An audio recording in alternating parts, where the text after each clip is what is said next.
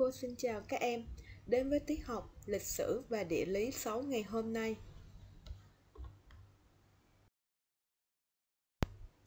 Đêm tháng 5 chưa nằm đã sáng, ngày tháng 10 chưa cười đã tối. Câu tục ngữ trên đã rất gần gũi với người dân Việt Nam. Nội dung của nó thể hiện một hiện tượng tự nhiên diễn ra hàng năm ở nước ta. Đó là hiện tượng ngày đêm dài ngắn theo mùa. Đây chính là một hệ quả được sinh ra từ chuyển động quanh mặt trời của trái đất. Vậy trong thực tế, hiện tượng này diễn ra như thế nào trên trái đất? Còn hệ quả nào khác sinh ra từ chuyển động quanh mặt trời của trái đất nữa hay không? Cô và các em sẽ cùng tìm hiểu trong tiết học ngày hôm nay. Trong tiết học ngày hôm nay, cô và các em sẽ cùng tìm hiểu bài 7 chuyển động của trái đất quanh mặt trời và hệ quả.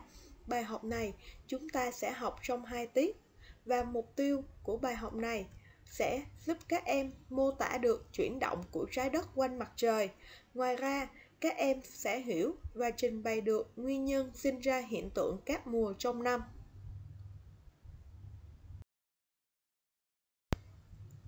Bài 7 chuyển động của trái đất quanh mặt trời và hệ quả gồm những nội dung chính sau. Phần 1 La Mã, chuyển động quanh mặt trời của trái đất. Phần 2 La Mã, hệ quả của chuyển động quanh mặt trời của trái đất. Và trong phần hệ quả này, các em sẽ tìm hiểu hai hệ quả. Hệ quả đầu tiên là hiện tượng các mùa trong năm. Hệ quả thứ hai, hiện tượng ngày đêm dài ngắn theo mùa trên trái đất. Sau đây, cô và các em cùng tìm hiểu nội dung một La Mã, chuyển động quanh mặt trời của trái đất. Các em hãy quan sát hình 7.1, chuyển động quanh mặt trời của trái đất và các mùa ở bán cầu Bắc. Kết hợp với đọc thông tin trong bài, em hãy cho biết trái đất chuyển động xung quanh mặt trời theo hướng cùng chiều hay ngược chiều kim đồng hồ, hình dạng quỹ đạo chuyển động quanh mặt trời của trái đất. Thời gian trái đất chuyển động một vòng quanh mặt trời là bao lâu? Và em hãy nêu nhận xét về độ nghiêng của trục trái đất vào các ngày 21 tháng 3, 22 tháng 6, 23 tháng 9 và 22 tháng 12. Sau đây, cô và các em cùng trả lời câu hỏi đầu tiên. Trái đất chuyển động xung quanh mặt trời theo hướng cùng chiều hay ngược chiều kim đồng hồ?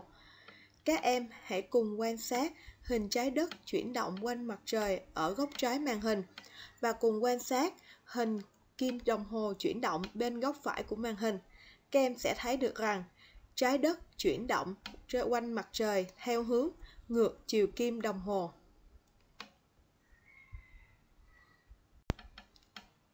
Tiếp theo, cô và các em cùng trả lời câu hỏi. Em hãy quan sát hình 7.1 chuyển động quanh mặt trời của trái đất và các mùa ở bán cầu Bắc. Em hãy cho biết hình dạng quỹ đạo chuyển động quanh mặt trời của trái đất. Để các em dễ hình dung hơn, thì cô thể hiện các hình học ở phía bên phải của màn hình và các em sẽ dễ dàng thấy được rằng trái đất chuyển động quanh mặt trời theo hướng từ Tây sang Đông và trên một quỹ đạo có hình elip gần tròn.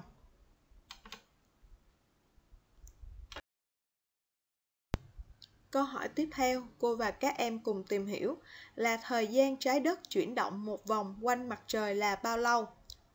Dựa vào nội dung sách giáo khoa, em dễ dàng biết được trái đất chuyển động một vòng quanh mặt trời là 365 ngày 6 giờ.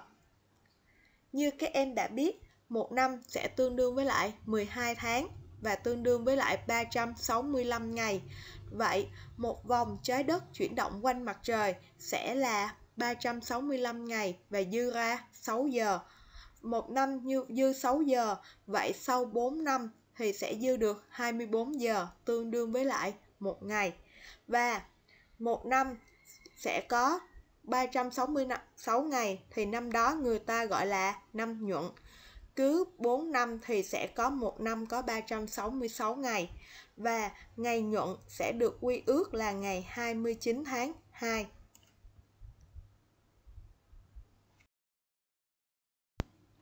Như vậy, trong nội dung phần 1 La Mã, chuyển động quanh mặt trời của trái đất, các em cần nắm cho cô những ý chính sau. trái đất chuyển động quanh mặt trời theo hướng từ Tây sang Đông trên một quỹ đạo có hình elip gần tròn. Thời gian trái đất chuyển động một vòng trên quỹ đạo là 365 ngày 6 giờ. Khi chuyển động, trục trái đất bao giờ cũng có độ nghiêng và hướng nghiêng không đổi.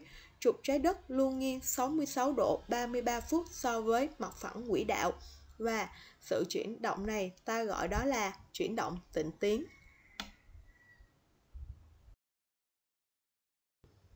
Như các em đã biết, khi trái đất chuyển động quanh mặt trời sẽ sinh ra hai hệ quả, đó là hiện tượng các mùa trong năm và hiện tượng ngày đêm dài ngắn theo mùa. Trong tiết học ngày hôm nay, cô và các em sẽ cùng tìm hiểu hiện tượng một là hiện tượng các mùa trong năm. Thì trước khi tìm hiểu về hiện tượng mùa trong năm, các em cần phải hiểu rõ mùa là gì và một năm có mấy mùa. Mùa chính là một khoảng thời gian của năm có những đặc điểm riêng về thời tiết và khí hậu và một năm sẽ có bốn mùa, đó là các mùa xuân, hạ, thu, đông. Sau đây, chúng ta sẽ cùng trả lời các câu hỏi trong sách giáo khoa. Quan sát hình 7.1 và đọc thông tin trong bài, em hãy cho biết vào ngày 22 tháng 6, bán cầu Bắc hay bán cầu Nam ngã về phía mặt trời nhiều hơn vào ngày 22 tháng 12, bán cầu Bắc hay bán cầu Nam ngã về phía mặt trời nhiều hơn. Từ ngày 21 tháng 3 đến ngày 23 tháng 9, ở bán cầu Bắc là mùa nóng hay mùa lạnh, vì sao? Từ ngày 23 tháng 9 đến ngày 21 tháng 3, ở bán cầu Nam là mùa nóng hay mùa lạnh, vì sao? Câu hỏi đầu tiên, các em cùng trả lời là hãy em hãy cho biết vào ngày 22 tháng 6 và 22 tháng 12, nửa cầu nào ngã về phía mặt trời nhiều hơn. Thì các em cùng quan sát bảng trên hình của cô và em hãy đánh dấu ít vào ô nửa cầu nào ngã về phía mặt trời nhiều hơn. Sau đây, các em hãy cùng quan sát thật là kỹ hình 7.1 chuyển động quanh mặt trời của trái đất và các mùa ở bán cầu Bắc.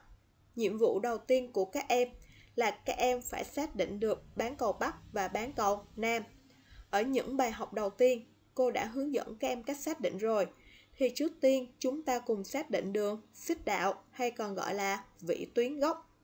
Nửa cầu ở phía trên đường xích đạo ta gọi đó là bán cầu Bắc. Nửa cầu ở phía dưới đường xích đạo ta gọi đó là bán cầu Nam. Như vậy, quan sát trên hình các em rất dễ dàng nhận biết được vào ngày 22 tháng 6, bán cầu Bắc ngã về phía mặt trời nhiều hơn. Tương tự, vào ngày 22 tháng 12, chúng ta thấy được rằng bán cầu ngã về phía mặt trời nhiều hơn, đó chính là bán cầu Nam.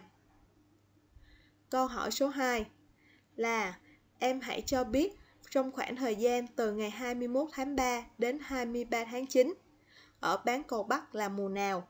và từ 23 tháng 9 đến 21 tháng 3 ở bán cầu Nam là mùa nào. Thì trước tiên, chúng ta cùng theo dõi mốc thời gian từ 21 tháng 3 đến 23 tháng 9 thì là đi từ xuân phân cho đến thu phân. Chúng ta có 3 mốc thời gian thì vào ngày 21 tháng 3 thì các em sẽ thấy là mặt trời chiếu thẳng góc vào đường xích đạo và ngày 23 tháng 9 mặt trời cũng chiếu thẳng góc vào đường xích đạo. Và vào hai ngày này, vào ngày xuân phân và thu phân, thì cả hai nửa cầu Bắc và Nam đều nhận được một lượng nhiệt như nhau. Nhưng đến vào ngày 22 tháng 6 hay còn gọi là ngày hạ chí, thì mặt trời lại chiếu vuông góc vào đường chí tuyến Bắc còn gọi là đường 23 độ 27 phút Bắc.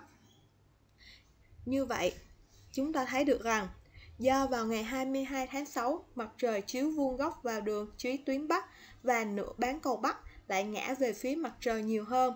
Nên trong khoảng thời gian từ 21 tháng 3 đến 23 tháng 9 ở bán cầu Bắc sẽ là mùa nóng. Bởi vì khi bán cầu Bắc ngã về phía mặt trời nhiều hơn sẽ nhận được nhiều nhiệt và ánh sáng hơn nên lúc này sẽ là mùa nóng. Tương tự, từ ngày 23 tháng 9 cho đến ngày 21 tháng 3 thì cũng giống như cô đã vừa phân tích vào ngày 23 tháng 9 và ngày 21 tháng 3. Cả hai nửa cầu đều nhận được một lượng nhiệt như nhau. Nhưng vào ngày 22 tháng 12, các em thấy rằng nửa cầu nam ngã về phía mặt trời nhiều hơn, nên lúc này ở bán cầu nam sẽ là mùa nóng, bởi vì khi bán cầu nam ngã về phía mặt trời nhiều hơn, nó cũng nhận được nhiều nhiệt hơn và nhận được nhiều ánh sáng hơn, nên sẽ là mùa nóng trong năm.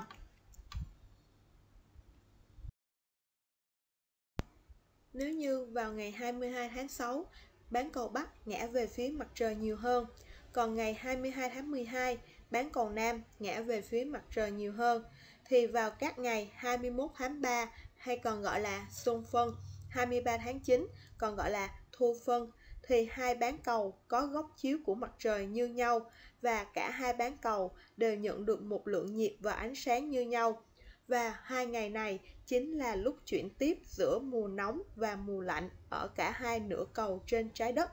Và ngoài ra, người ta còn chia một năm trên trái đất ra có bốn mùa. Như các em đã biết, thì một năm trên trái đất sẽ có bốn mùa, xuân, hạ, thu, đông. Vậy, các mùa tính theo dương lịch và âm dương lịch sẽ được tính như thế nào? Các em hãy cùng quan sát bản sau. Ở bản này, các em thấy có 3 cột. Cột đầu tiên thể hiện các mùa. Cột thứ hai thể hiện thời gian tính theo dương lịch. Và cột thứ ba thời gian tính theo âm dương lịch.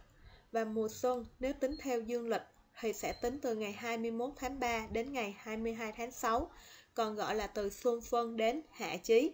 Mùa hạ tính từ ngày 22 tháng 6 đến ngày 23 tháng 9.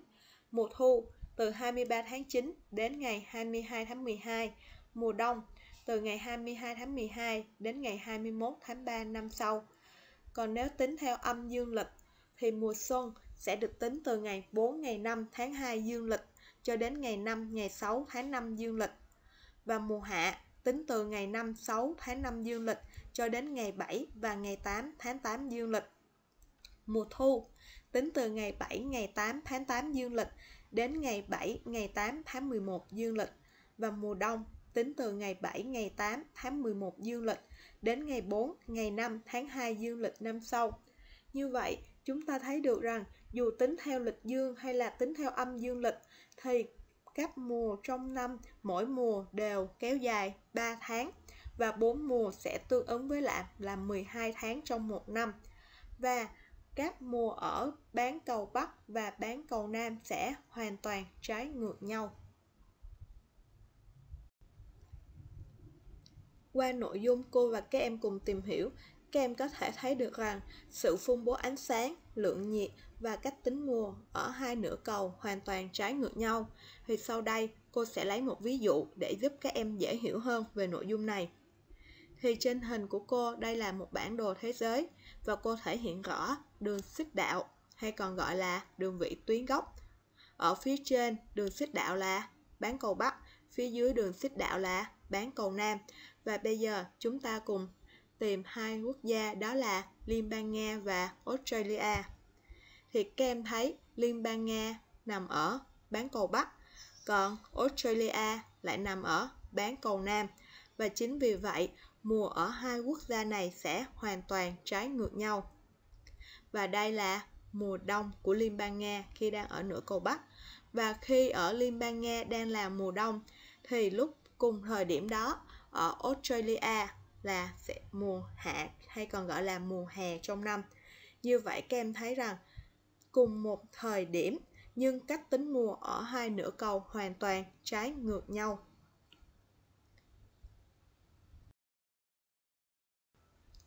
Theo như nội dung các em học thì một năm sẽ có 4 mùa, xuân, hạ, thu, đông.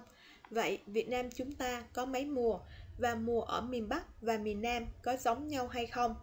Do nước ta nằm ở khu vực nhiệt đới nên sự phân hóa ra bốn mùa không rõ rệt. Ở miền Bắc tuy cũng có bốn mùa, nhưng hai mùa xuân và mùa thu chỉ là thời kỳ chuyển tiếp ngắn nên hai mùa xuân và mùa thu không thực sự kéo dài đúng 3 tháng. Còn ở miền Nam hầu như chỉ nóng quanh năm nên chỉ có hai mùa đó là mùa khô và mùa mưa mà thôi và các em đang ở thành phố Hồ Chí Minh nên cảm nhận rất là rõ ràng được hai mùa trong một năm ở khu vực mình đang sinh sống, đó là một mùa khô và một mùa mưa. Trong phần hiện tượng các mùa, các em cần nắm cho cô những nội dung chính sau. Là do trục trái đất nghiêng và gần như không đổi hướng khi trái đất chuyển động trên quỹ đạo quanh mặt trời nên đã sinh ra các mùa trong năm – Lý thứ hai là sự phân bố ánh sáng, lượng nhiệt và cách tính mùa ở hai nửa cầu hoàn toàn trái ngược nhau. Một năm được chia ra bốn mùa, xuân, hạ, thu, đông. Tiếp theo là phần luyện tập. Em hãy quan sát hình 7.1 và cho biết khi thứ tự các mùa ở bán cầu Bắc là xuân, hạ, thu, đông thì các mùa ở bán cầu Nam sẽ diễn ra như thế nào? Như các em đã được học, thì các mùa ở hai nửa cầu được tính hoàn toàn trái ngược nhau. Nên bây giờ, các em hãy cùng quan sát hình 7.1 chuyển động quanh mặt trời của trái đất và các mùa ở bán cầu Bắc để cùng xem khi ở bán cầu Bắc là mùa xuân thì ở bán cầu Nam sẽ là mùa gì. Thì chúng ta dễ dàng biết được khi bán cầu Bắc là mùa xuân thì ở bán cầu Nam sẽ là mùa thu. Khi bán cầu Bắc là mùa hạ thì bán cầu Nam sẽ là mùa đông. Và khi bán cầu Bắc là mùa thu thì bán cầu Nam là mùa xuân. Và cuối cùng, khi bán cầu Bắc là mùa đông thì ở bán cầu Nam sẽ là mùa hạ.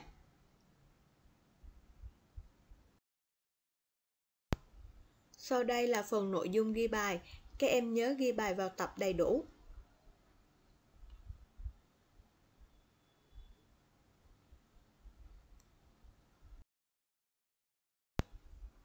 Về nhà, các em nhớ ghi bài vào tập, học các bài sau. Bài 5, các em học phần 2 La Mã. Bài 6, các em học hết bài. Bài 7, các em học phần 1 La Mã. Phần 2 La Mã, các em học hiện tượng các mùa. Các em nhớ học bài thật kỹ để tuần sau chúng ta có tiết ôn tập để chuẩn bị cho tiết kiểm tra học kỳ 1 sắp đến. Cô chào các em và hẹn gặp lại các em vào tiết học sau.